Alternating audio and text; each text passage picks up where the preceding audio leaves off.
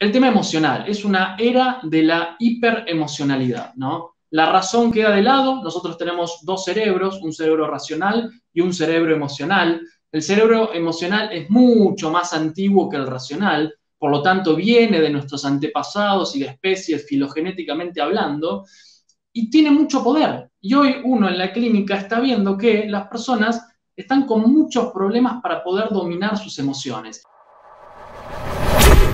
Identidad individual cualitativa y la identidad más psicosocial. ¿no? Tenemos como esos dos caminos y tenemos un montón de explicaciones que durante eh, un montón de tiempo se ha hecho de estos temas y de estas corrientes y nos tenemos que centrar, importante el tema de, bueno, a ver, el individuo viene, nace, tiene todo una historia prenatal donde, por ejemplo, los padres han deseado o no ese hijo, los padres han pensado un nombre o no para ese hijo o hija, y después sale al mundo y tiene que enfrentarse absolutamente un montón de estímulos a la socialización primaria, a la socialización secundaria, a los padres que tienen ideas sobre cómo quieren que sea el hijo, a los amigos, a las instituciones, a todos los que nos, los que nos va dando un marco, ¿no?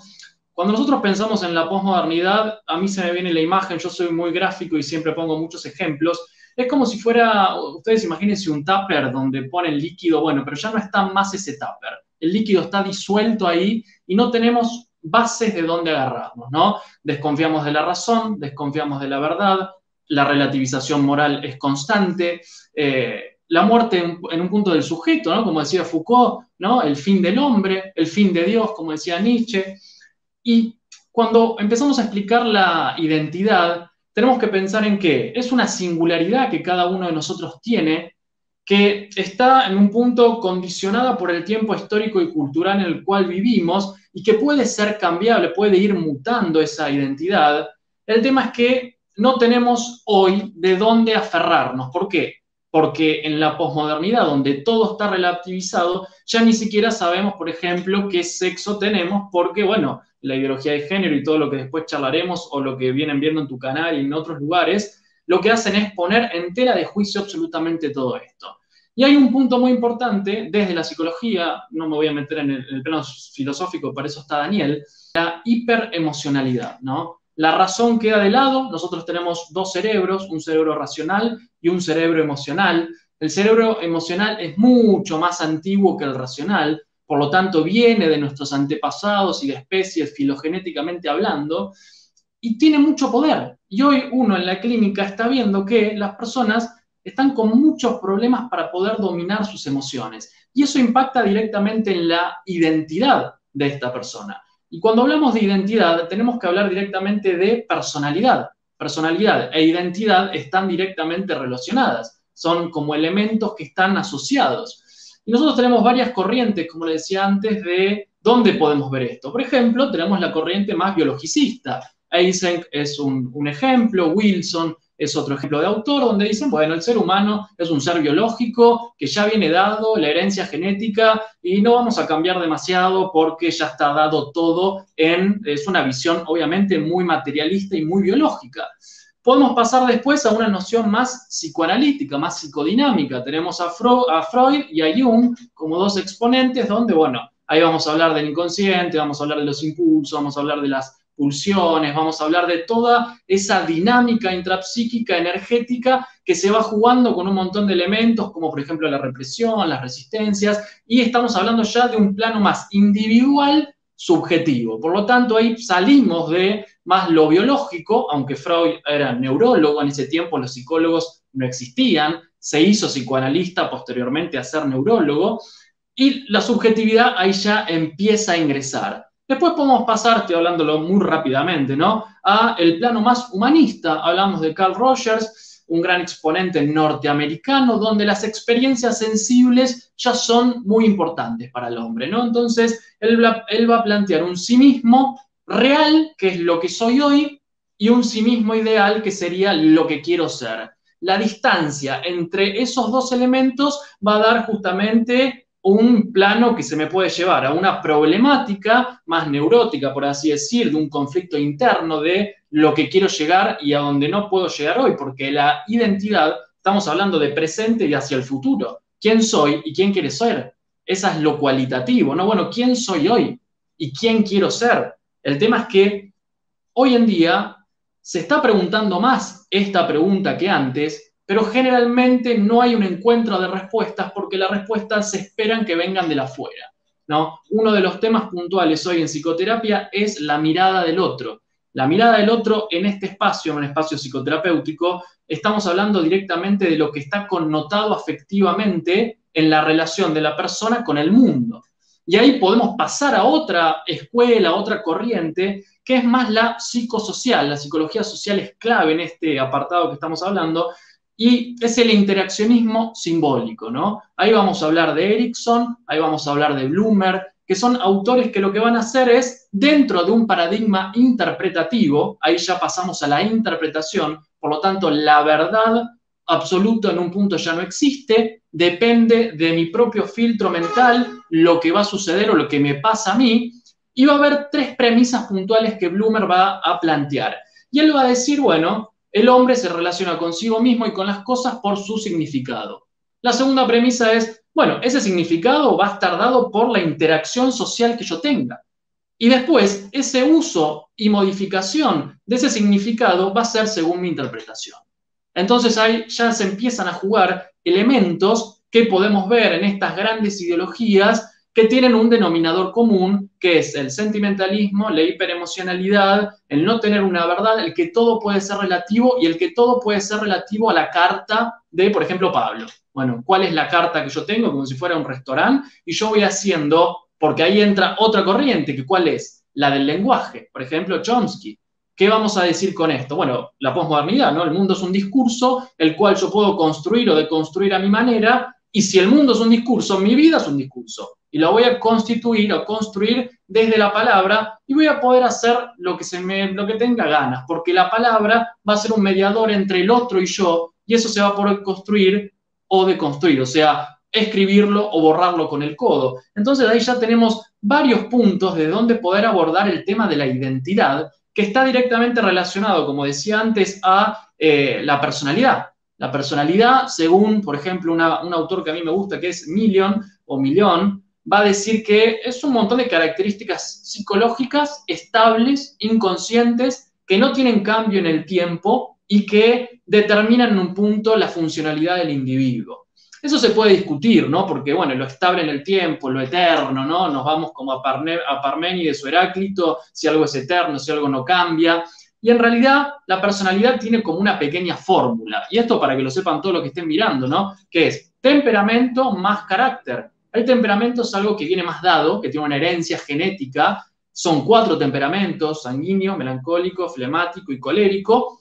Y tenemos la parte del carácter. El carácter es como yo fui moldeado por la interacción social, ¿no? Por mis padres, por los amigos, por las instituciones, por la religión, por los ámbitos donde yo fui circulando. Y ahí tenemos la personalidad del individuo y una, una suerte de identidad también porque está directamente relacionado. Y para cerrar con esto, Erickson, un gran autor, eh, psicoanalista y eh, que ha escrito mucho de psicología social, él planteó ocho etapas basándose en qué? En las etapas psicosexuales de Freud. Y puso, por ejemplo, una de las etapas que es la de los 13 a los 21 años, más o menos, que dice, bueno, el adolescente, adulto joven, va a tener un orden ideológico por el cual se va a mover en su vida diaria, ¿no? Su visión cosmológica va a estar dado por la ideología y va a tener generalmente una actitud más totalitaria, porque ahí lo que va a reemplazar es la mirada del padre o madre que tuvo o que no tuvo, reemplazada por la ideología. ¿Y esto por qué lo digo? Porque hay unos datos que después se pueden arrojar, ¿no? Pero, por ejemplo, el 65,4% del feminismo en España por el diario El País en 2019 son mujeres entre 18 y 24 años. O casualidad, que es justo el periodo o el rango etario donde la identidad está más maleable. Y o casualidad, donde ahí todo el gran conglomerado va a ir a ingresar para justamente que mi cosmovisión vaya a partir de la ideología imperante del momento, donde yo me voy a sentir importante porque voy a formar parte de un grupo, no voy a quedar aislado y, bueno, se podría seguir, ¿no? Pero creo que me pasé los 10 minutos. Pablo Caruso, la misma, la misma, el mismo tópico con usted. En este vacío que se genera la identidad, en estas masas ya sin identidad, ¿quién o cómo o para qué alguna ideología, algún poder político, algún espacio podría tomar el control de las mismas? Bien, a ver, la, pregunta es súper interesante, ¿no? ¿Quién llena la, la, identidad de cada uno de nosotros? Y ahí yo iría al punto de, bueno, ¿cómo es la constitución antropológica del ser humano? Y tenemos tres variables, ¿no? Tenemos una variable corporal, tenemos una variable psicológica y tenemos una variable espiritual.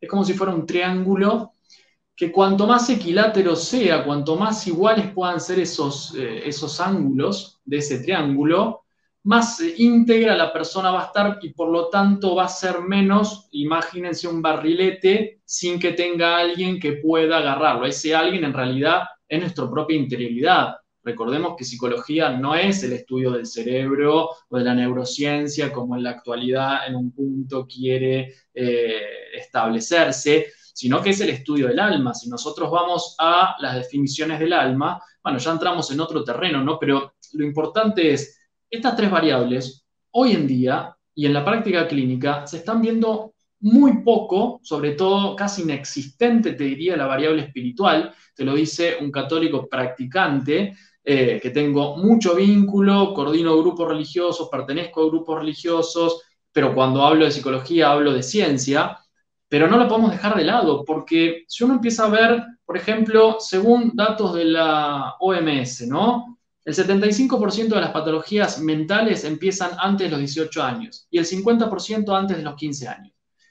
Eso es un dato. O sea, ¿qué está pasando en esa etapa que en realidad esa etapa termina siendo consecuencia de qué? De los primeros años de vida. Por eso cuando la gente dice, no, bueno, hablo con un amigo, es lo mismo que hablar con un psicólogo y todos los tipos de eh, mitos sociales que hay, en realidad uno tiene que poder ir a las bases del ser humano que están en los primeros años de vida y en lo prenatal para ver por qué después esa estructura se convierte en alguien que es moldeado como una vasija de barro, como se quiera, por quien quiera que sea, o alguien que tiene unas bases sustentadas en la tierra para poder decidir por sí mismo, ¿no? Y tener o generar un pensamiento crítico. Y ahí entramos directamente en la figura de la familia, estos cuerpos intermedios que obviamente quieren disolverse porque hay un entramado biopolítico, geopolítico y todo lo que sabrán eh, los que están del otro lado que está, está pasando en este tiempo. Vos mencionaste, Horacio, la, la Agenda 2030, ¿no? Pero, ¿qué nos pasa con la variable espiritual, por ejemplo? Si hablamos de una variable espiritual, estamos saliendo del materialismo. El materialismo lo que nos va a dar es, bueno, la generación de un deseo permanente, el consumo que no para, recibo casos todo el tiempo de consumos problemáticos, casos de depresión y casos de ansiedad, ni hablar. ¿Y por qué el ser humano está tan desequilibrado? O sea, salgamos a la esquina de la, de la casa de cada uno de nosotros y miremos un poco, pongámonos en observador. ¿Qué es lo que vemos? ¿Qué estamos viendo cuando observamos? Vemos que la emoción que eh, radica en este tiempo es la ira, que el enojo es algo que está muy sensible, que emociones como la alegría y la felicidad se vivencian poco, se vivencian poco porque muy pocas veces llegamos a un estado de plenitud y no estoy hablando de una plenitud ideal, aristotélica, sino estoy hablando de tratar de pasarla bien un rato, que en realidad cuando hay personas que muchas veces la pasan bien un rato, termina siendo una superficialidad bastante importante. ¿Y de dónde termino viviendo? De la primera variable que mencioné, que es la corporal. Entonces empiezo a configurar mis vínculos a partir de la corporalidad, ni hablar relaciones con hombre-mujer, de la sexualidad. Bueno, la homosexualidad es una moneda corriente hoy en día también, donde el concepto ya, por ejemplo, en lo vincular de las relaciones abiertas es algo que está completamente establecido y que cuando uno empieza a observar eso, dice, bueno, a ver, ¿qué tenemos por detrás de esto? Si hay algo que el psicólogo tiene que hacer es ver donde no se muestra, observar lo que, no se, lo, que la otra persona no está mostrando y justamente dudar de aquello que se asevera mucho. ¿Qué es lo que vemos? ¿Por qué la ira hoy estás en un semáforo y tenés la barrera baja del tren y te quieren pasar por arriba? ¿Qué está pasando ahí? ¿No? Es una pregunta que es muy práctica y muy sencilla y no estoy filosofando. ¿Qué está pasando ahí? ¿Por qué hay emociones que solamente las utilizamos para el momento de lo placentero, de la generación de dopamina de los neurotransmisores y donde lo efímero es lo que constituye justamente el día a día? Bueno, hay una carencia espiritual, hay una carencia de imagen paterna, hay una carencia de familia sólida, hay una carencia de vínculos estructurados. Yo, por ejemplo, estoy en un edificio, estoy en un octavo piso. Si se raja la pared, hay que tratar de arreglarla, pero también hay que ver las bases, que imagino que hay dos subsuelos por debajo para sostener esta estructura de 10 pisos de edificio. Psicológicamente es exactamente igual. O sea, no podemos ir a atacar solamente la superficie de lo sintomático que me está pasando hoy, porque en realidad lo sintomático que me está pasando hoy es algo que viene concatenado del pasado, como explicó también Daniel, a partir de un montón de impulsos reprimidos, la vuelta de lo reprimido, que sería básicamente una olla a presión. Bueno, hoy los seres humanos estamos convirtiéndonos en ollas a presión y queremos agarrarnos obviamente de lo primero que encontremos. ¿Para qué? para empezar a calmar todo ese revoltijo interior de emociones, pensamientos, pulsiones, instintos, historia personal, historia previa, vínculos, que no sabemos qué hacer. ¿Por qué? Porque estamos poniendo la mirada afuera y estamos necesitando que la mirada de la afuera venga a como de lugar, porque no me puedo mirar a mí mismo, porque si miro adentro no sé qué es lo que encuentro. Entonces, es también un llamado cuando vos planteabas también desafíos o, qué podemos hacer, es empezar a correr un poco la mirada de lo exterior. O sea, ¿dónde están estas tres variables? ¿Desde dónde yo, por ejemplo, me vinculo con el otro y de dónde me vinculo conmigo? Porque el vacío existencial, donde la identidad termina siendo truncada o llenada por un otro que tiene X intereses biopolíticos, geopolíticos, sociológicos o lo que sea, termino siendo justamente una marioneta conducida que pienso que estoy siendo revolucionario en las ideas y en realidad sos completamente funcional a un sistema que te está utilizando. El tema es, ¿me pongo a pensar en esto? No, prendo la tele. ¿Me pongo a pensar en algo de estas cuestiones? No, agarro la compu. No, agarro el celu. Todas las redes sociales. ¿Por qué hay tantas plataformas? ¿Por qué hay tantas redes sociales? ¿Por qué no hay tiempo libre? ¿Por qué cada vez el trabajo es más alienante? ¿Por qué no tengo un segundo para tener ocio, el ocio para el cerebro lo oxigena, ¿no? El cerebro se calma, puede respirar. No, el ocio está mal. Necesito estar hiperconectado en un multitasking permanente donde pienso que soy productivo haciendo más tareas y en realidad mi cerebro no funciona. El cerebro se va desgastando cuando tengo un multitasking constante. Lo que tengo que hacer es una tarea por vez, pero volvemos a las bases. Bueno, ¿cómo fue mi apego en la primera infancia? ¿Fue seguro? ¿Fue inseguro? ¿Qué imagen de hombre o de mujer tengo? ¿Tengo alguna referencia? Bueno, sí, yo tengo una imagen de hombre. Jesucristo es una imagen de hombre. San José, una imagen de, mujer es María. Ok, corre la religión porque uno lo puede tildar de fanático religioso, lo que sea. ¿Qué está pasando con mi propia constitución como ser humano? ¿Nos ponemos a pensar en esto? Yo creo que no. Y lo veo constantemente. Entonces, obviamente que hay muchas personas que sí se lo preguntan y trabajan un montón y se desloman para tratar de poder mejorar, pero estamos en una anestesia general. Y esto, en, un punto, estamos obviamente en el postmodernismo donde la verdad está anestesiada, la moral está anestesiada, la lógica, algo muy simple, está anestesiada. Y tenemos una gran anestesia general. Y eso lo podemos ver a partir de la virtualidad, de la comunicación y un montón de variables que están jugándose constantemente, visibles e invisibles. Pero dejaría plantear esta pregunta. Bueno, estas tres variables o estos tres elementos, ¿cómo está mi triángulo interior? ¿no? ¿Cómo está? Dejaría esa pregunta. Excelentísimo. Ahora, es un tema, una pregunta súper importante que da para desarrollar largo, ¿no? Pero lo voy a hacer lo más corto posible. Antes, aclararle a Andrea que dice, es difícil conseguir un psicólogo que esté apartado de ideologías o temas de nueva era. Yo estuve muchos años metido en temas de nueva era y me costó mucho salir. Tengo videos en mi canal de YouTube eh, para que no crean una cosa que, que, no es, ¿no? Estuve muchísimo tiempo metido en eso, donde aprendí un montón y me costó un montón salir cuestiones espirituales complejas. Eh, por suerte ya eso no, gracias a Dios, pero eh, a ver, la digitalización, la virtualidad, en un punto sí, es aterrador lo que se puede llegar a venir. eh, yo particularmente, a mí me abrió un mundo de posibilidades, ¿no? Yo creo que la nueva posibilidad de, por lo menos mi trabajo, permite ya no eh, ir al psicólogo, a ir a un terapeuta por la cercanía geográfica, sino por una cuestión de yo voy por valores, voy por lo que considero que me puede ayudar. A ver, yo pre-pandemia, yo ya atendía por lo que antes era Skype, que ahora puede ser Zoom, eh, a pacientes de todas partes, de España, de Estados Unidos, etcétera, por lo y del interior de acá del país, por lo tanto, no me fue nuevo. Eh, y hay personas que ya te dicen, yo no vuelvo más a la presencialidad a ver, en la eficacia terapéutica la verdad que no hay eh, un, cambio sustancial, la verdad que no.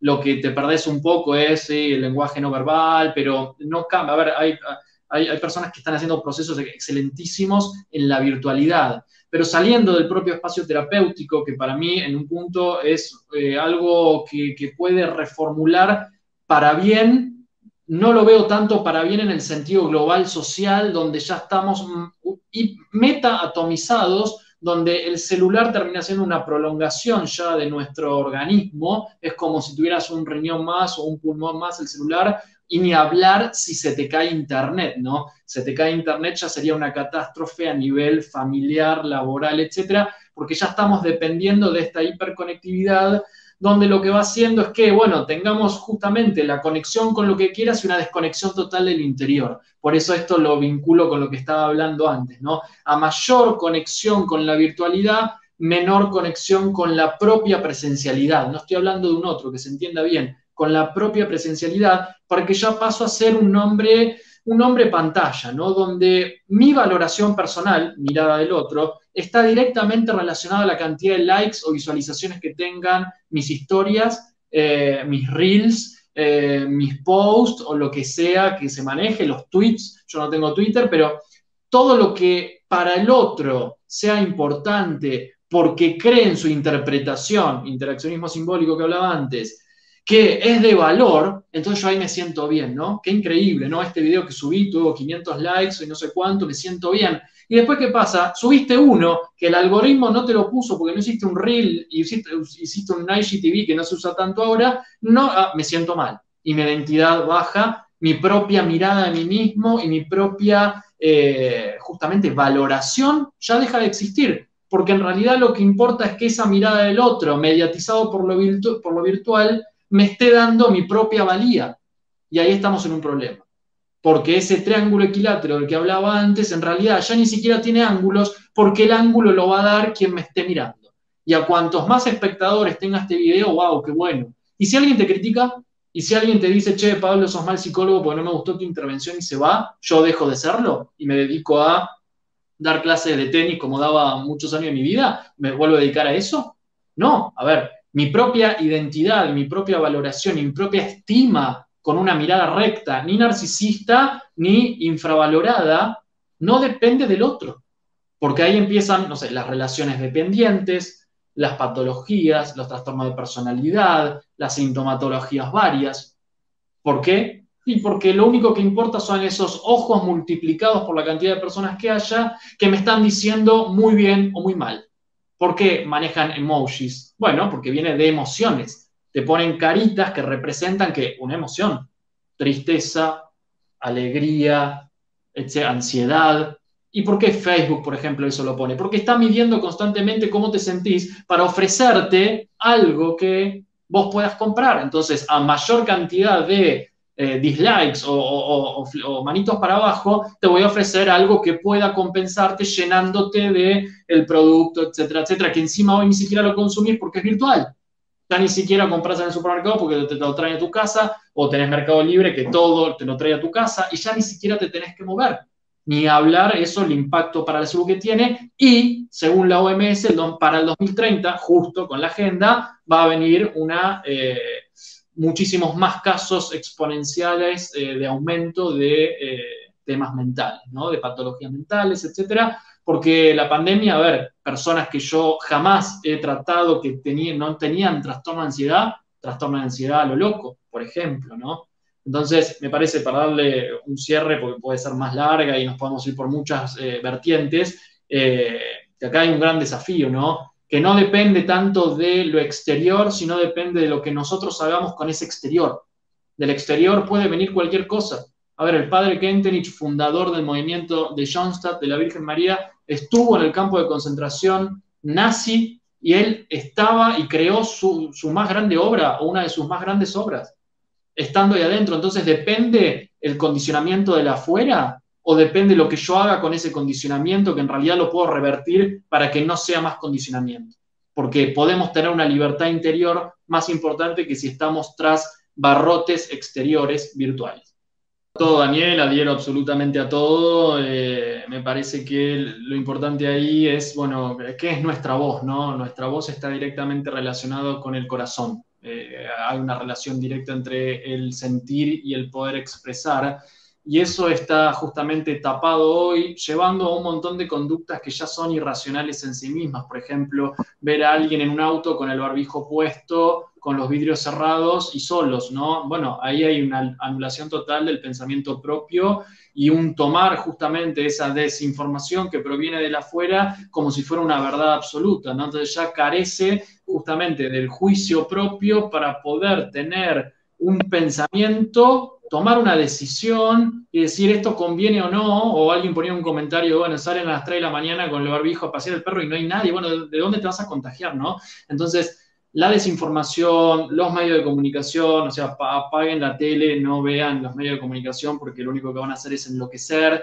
Eh, y la propia identidad en este tiempo, como decía Daniel, tiene que ver con cómo eh, decores el barbijo de una mejor manera. Hoy vi una noticia que en México está el doble barbijo, ¿no? o en España creo que era el barbijo nasal y arriba el barbijo convencional que vemos. Entonces, también vuelve a ser irracional. Vas a un restaurante, todos con el barbijo, empezás a comer, te lo sacás, y bueno, ahí te puedes contagiar. Entonces, termina siendo una cosa muy, muy ridícula de ver y se genera esta relación de rivalidad, ¿no? Donde los que lo usan son los malos, los que no lo usan son los buenos, o viceversa, y termina, hoy me pasó, ¿no? Que había una calle donde no había nadie y no lo tenía puesto, o me lo había sacado porque hacía calor o lo que sea, y pasa una gente y dice esta gente que no usa barbijo, bueno, se genera esa rivalidad social donde en realidad de poder poner un pensamiento crítico, decir, esto sirve, estamos a 15 metros, no te voy a contagiar, no hay manera, eh, pero bueno, se genera la rivalidad porque ahí estoy descargando